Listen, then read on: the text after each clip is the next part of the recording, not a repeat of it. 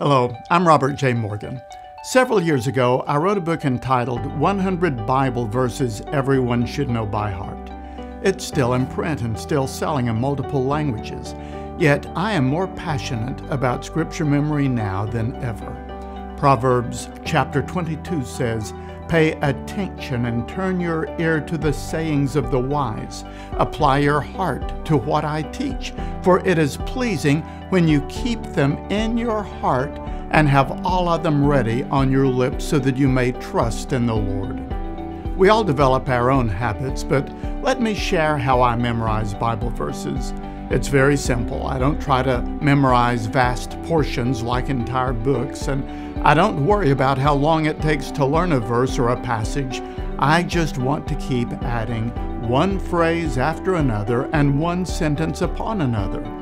First, as I read and study my Bible every day, I look for verses or passages I think I'd like to memorize. Second, I read them over and over, often aloud, until the phrasing begins to get into my mind. Third, I write the verse or passage out on its own page in a little loose leaf notebook. Mine is five and a half by eight and a half. Now, here's where I exercise a little sanctified discretion. I grew up with the King James Version. Then I switched to the New King James Version, and then to the New International Version, and sometimes I even read from the Living Bible. Since I've memorized verses in all of these translations through the years, I write out the passage that I'm learning in the version that comes most naturally to me. Often, I combine versions in one passage, but I don't feel guilty about that. I simply choose the wording that comes most naturally to me, phrase by phrase. For example, when I quote Joshua chapter 1, verses 8 and 9, verse 8 is from the New King James Version, but verse 9 is from the NIV. When I quote Psalm 46, I weave in and out of about three different translations, but who would know it? When I quote it, no one seems to realize that I'm quoting from my own patchwork of versions, but this is the plan that works best for me. That's why a personal notebook is invaluable. It's my own amalgamated edition, but it keeps me from having to unmemorize and rememorize.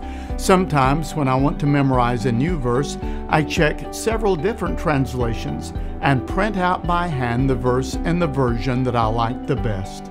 So, this little notebook is my own personal collection of scripture memory passages, which to me is the most valuable collection of treasures that anyone could own. I keep the pages in canonical order from Genesis to Revelation, and every morning during my devotions, I'll work for about five or ten minutes repeating my current memory project into the recorder on my phone, listening to it, seeing what I missed, and trying to do it again.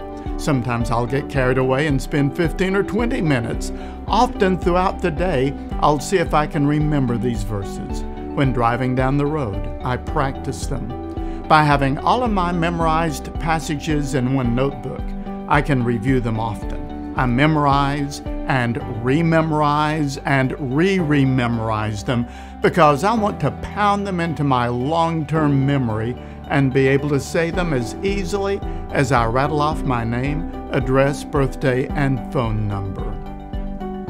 Of course, you can replicate my notebook using your laptop or smartphone.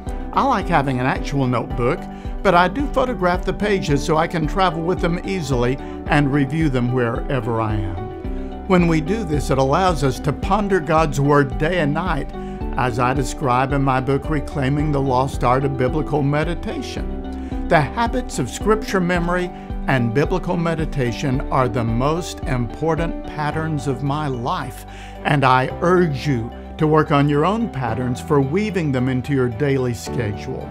Nothing will help you more in times like these. And if you are a preacher or teacher or worship leader, nothing is more helpful in terms of your platform ministry.